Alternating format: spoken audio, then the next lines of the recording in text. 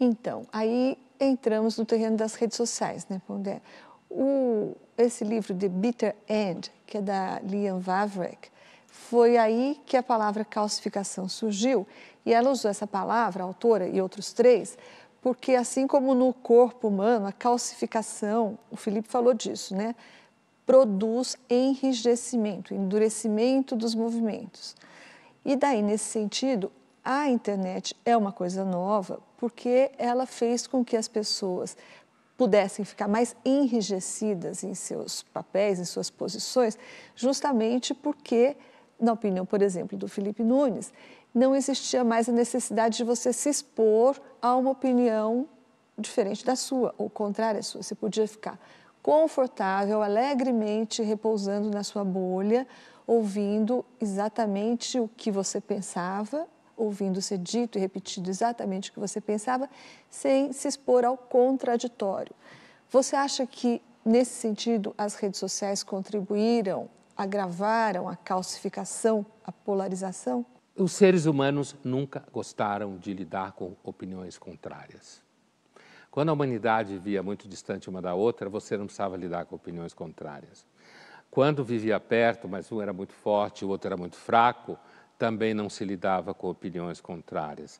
Na medida que você começou a construir sistemas políticos e sociais onde há uma maior equalização das diferenças e, portanto, o poder ah, ele começa a ser como que um fluido dividido no maior número de pessoas, o que essa democracia das redes sociais está mostrando é que, à medida que as pessoas vão se empoderando, repetindo e ouvindo só o que elas gostam, elas vão ficando cada vez mais rígidas.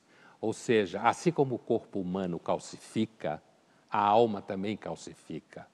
E, nesse sentido, eu tenho a impressão que o futuro próximo é o futuro de um mundo em que as pessoas vão ser cada vez mais calcificadas, no sentido que o Felipe Nunes fala, cada vez mais intolerantes, cada vez com mais dificuldade de conviver com os outros, e isso, no plano das relações humanas, vai significar uma judicialização cada vez maior, produção de contenciosos cada vez maior. Preste atenção numa coisa: se você abrir o jornal hoje, qualquer dia, qualquer que seja o jornal, você vai perceber que grande parte das notícias transitam por decisões de tribunais. Sobre qualquer que for o assunto.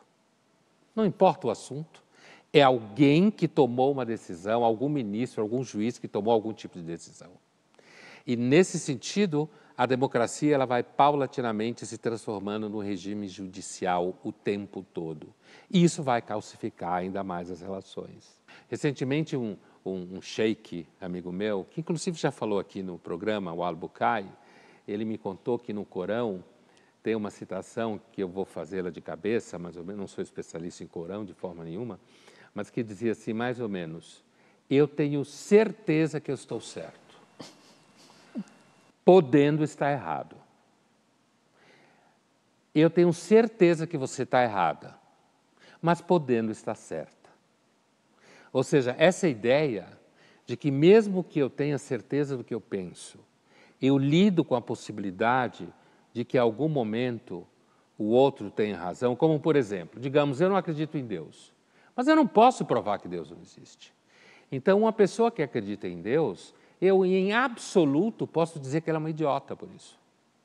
Porque ninguém tem a resposta definitiva. Isso é em quase tudo na vida. Mas quando as pessoas vão calcificando, vivendo na bolha, você vai muito cedo construindo certezas.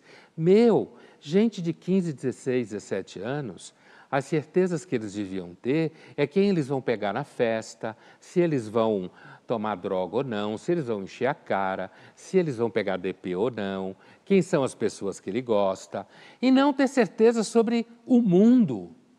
Não sabe nada do que é o mundo.